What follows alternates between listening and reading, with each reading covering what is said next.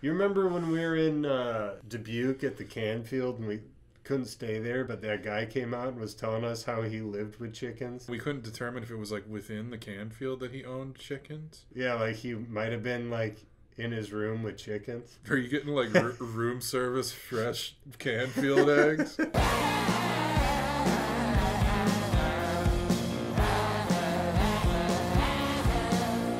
Happy Thanksgiving. I'm Dan. And I'm Eddie. And we're the Deathless Dogs. In honor of Thanksgiving, we are cracking into a wild turkey limited release. I picked this up when I was out hunting for various whiskeys on my birthday week. I was looking for any one of the Master's Keep series.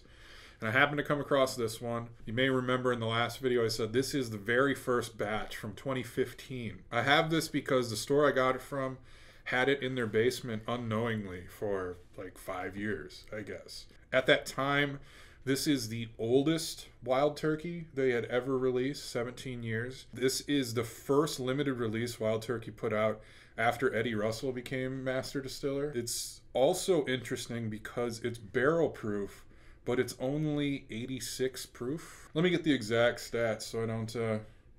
Yeah, 86.8 proof. So, and but that is barrel proof. The reason that this is a barrel proof at such a low alcohol percentage is because it lost more alcohol than water during the aging process. Mm.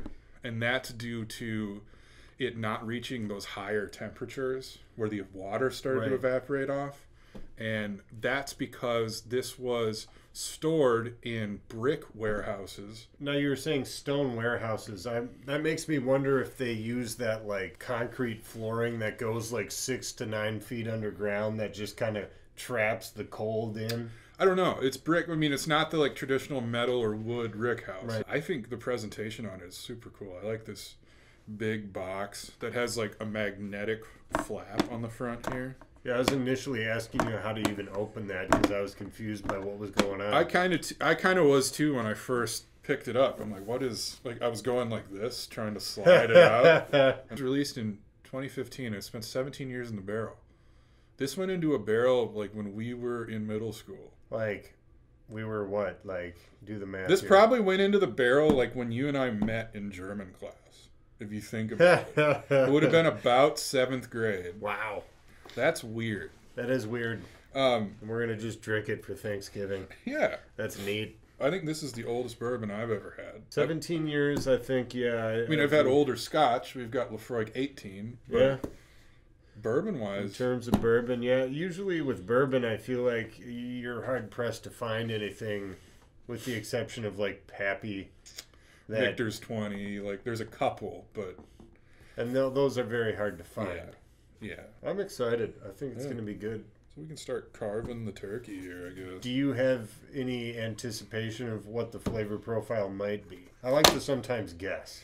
Well, according to this, we're we're talking caramel, vanilla, spice with subtle oak finish. I'm not expecting burn because of the low proof point. Right. It'll be interesting to to try a bourbon though that is that low proof but is naturally that low proof. Like it's not because they watered it down. This is just what it came out like.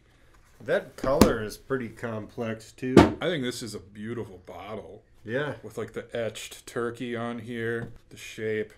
It's They got like spent a lot of time on this. the I heavy think. copper cork. It's a beautiful bottle to have on the shelf. I mean, would you display it with the bottle or would you put it back in the giant box? I think the bottle is more attractive than the box. I'd hold on to the box, but I think it'll go right behind my head with its brothers and sisters of the Turkey Nation. All right, Wild Turkey 17 year old Master's Keep, batch 0001. Let's throw it to a guest bottle popping. Fresh bottle poppin'! All right, and that, of course, is Tyler from Space Heaters and his lovely lady Taylor. It's always great to see someone else partaking in the bottle popping. Yeah, thanks for sending the video in. Thanks for the shout out to the Red Stir that you threw in there at the end. That was cool. We appreciate it. I feel like you got a hold for cork here. You just released history. Yeah. Feel that cork. That's a heavy boy. Very approachable now. It's like you can really vanilla, but like vanilla bean. You know, I can see that. not like vanilla ice cream, like you know bucket ice cream. More like the vanilla bean, like when you chop it open yourself and scrape out the I seeds. get that. Yeah. There also seems to be like a hint of like squeezed orange or something. There is some kind of sense. there is some kind of fruit. Like it's either orange peel or like the spray of an orange. I can't tell if that's what I'm calling that or not. I'm getting a lot of vanilla bean now that you've mentioned it, but also maybe a little bit of that like creme brulee style, you know, like a baked caramely like the top of it. dessert. Yeah. The smell is really good though. It's actually reminiscent in a lot of ways of Thanksgiving, I think. Strangely enough. There is a bit of like an herbal quality in there that I can't really pin down because I feel like I just need to go to the food co-op and buy all the herbs and just smell them. You can't do that smell test within the co-op because the co-op has a smell Yeah. that's just distinctly food co-op. You could blindfold me and drive me around for an hour and then walk me in there and I'd know exactly where I was. Oh yeah. Be like, oh, we're at the food co-op. It's that weird smell. I think it's because they have like the deli in there that makes the paninis. I don't even think it's that because I mean this smell has existed prior to d- like deli paninis. Like as a child, I remember that. I think it is all the fresh spices all combining into one scent or something. But I feel there. like supermarkets that aren't the co-op have those spices as well, and they don't smell quite the same as the co-op. Yeah, but I feel like the co-op is is dealing more in the bulk spice game. You know what I mean? Maybe the, the it's more frequently stirred because people are People getting go more to the co-op to get the spices. Yeah, I think it is. They're they're spice lords over at the co-op. Spice traders. Spice Lord, mother, mother. Just monster magnet. Yeah. Yeah. that song was probably popular when this went into yeah, the history that we've released. That's Yeah. what we're getting. Clank 'em and drink 'em. As smooth as that was on the nose, it seems to have carried over into the taste. Some of those baking dessert style foods seem to really come forward in the flavor, I think. Yeah. I stand by my statement on like a creme brulee or a custard with a little bit of that caramel and vanilla kind of blending together. And then on the tail end, there's a bit of that oaky bitterness, I think. Yeah, I'm getting creamy kind of mouthfeel thing that's playing with that vanilla pretty nicely. Towards the finish, getting a little bit of that oaky bitterness, almost a, uh, I want to say like tobacco. You know what I mean? Like fresh, like the pipe. Well, that's kind of what Russell's Reserve reminds me of. The Yeah. single barrel. I've always kind of said it's a bit of that tobacco flavor and maybe a little bit of like a a black tea style vibe or something. You know, it's herbal. It's not really drying, that drying feeling. No. Um, it's not aggressively oaky, which I've heard some of the like the older bourbons, like the oak can kind of start to take over because it's been in there so long. like after drinking this and just kind of sitting on it and kind of letting my palate adjust to what I just took in, there's a bit of like dark chocolatey, like crumble vibes. I don't know that I, I taste it as dark chocolate, but maybe that bitterness level would be the best way to describe the level of bitter going on here. 70% cacao, you know, that little bite of bitterness to it at the end. And it, it evolves with each sip. It's kind of changing as it goes through. That last sip I got, I don't want to say mint, but it, it came through herbal and like cooling. Similar to uh, Russell's Reserve Rye Yeah. where it's No, I know not necessarily minty, but it has that herbal, fresh kind of feeling to it on the last sip. I didn't really know what to expect going into this. I'm not disappointed at all, and I'm happy. I think that this has lived up to the hype that you've put it on. We've been looking forward to this, and I think, in my opinion, I'm happy and honored to have been able to try it. Yeah, I don't have any regrets on the purchase here. As a big fan of Wild Turkey that I am, as far as would I buy it again, I think I would. I will buy other Masters Keep releases for sure, and I would buy this one again if I saw it. I think it's a really interesting bottle. Some people would argue that at that price point for a 43% alcohol bottle, that's a bit steep. Yeah, and I would agree with them with it being overpriced for being as low proof as it is if it was a situation where they were watering it down and stretching it out. If they found 17 year old barrels and then proofed them down to this, you'd be like, you're out of your damn mind. For- Right. but this is just kind of a special bottle.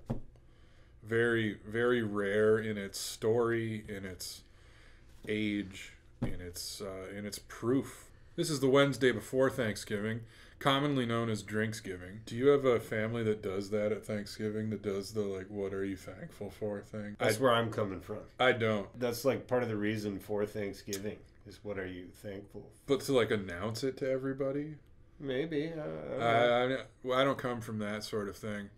I think my aunt tried to do that to us one year, and everybody just laughed at her. Top four Thanksgiving side dishes. Okay. Yeah. I feel like I can do this. Hold on. I gotta think about it. Thanksgiving side dishes. You all start thinking about it too, and leave it in the comments what your top four are. We're not counting desserts. Not counting. Not desserts. counting. We're going desserts. side We're dishes. just going sides. The hash brown cheesy potatoes. Good Number call. one overall. Second, I'm going back to potatoes with garlic mashed potatoes and gravy. Third, side dish. We got the wild rice with cranberry thing my mom makes. I like that thing. Last, but not least, it's like a pumpkin with, I believe, walnut and like chocolate chunk bread. And like it's served as a side dish Sure. but not like a dessert because we'd have the pies for dessert. It's a sweet treat mid meal. Yeah. My top four. Number one, stuffing. And it can be like shitty stovetop or like authentic giblet craft. Number two, my mom makes like the sweet potatoes with the marshmallow on top. That's my like the sweet within the meal. That's your you know. change up? Third would be I believe some people call it corn pudding, some people call it scalloped corn. We refer to it as corn stuff. Number four, this is tough. I mean, I feel like I feel like mashed potatoes are just so necessary. So I'm gonna say mashed potatoes. What I want to say is mac and cheese because I started the mac and cheese revolution in my family last year on Thanksgiving, and I don't feel like I can rank it as four since I've only eaten it for one year so far. I But if it was that great and you like revolutionized But- Thanksgiving, I gotta look back. I gotta look back at a, at a winning tradition. how do you always have such different things than me in your top four, except for like with Reese's during Halloween? Because we, we're different people. I know, but like so different. Hit us with your top four side dishes. Some of you are gonna say green bean casserole, and I want you to know you're wrong.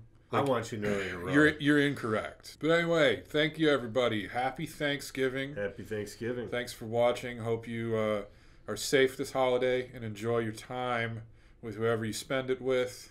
Hopefully you drink some. Hit the like button if you haven't yet. We're very thankful for likes. I can say that. And even more thankful for shares and comments. From the Western Wisconsin Whiskey Emporium. Thanks for watching.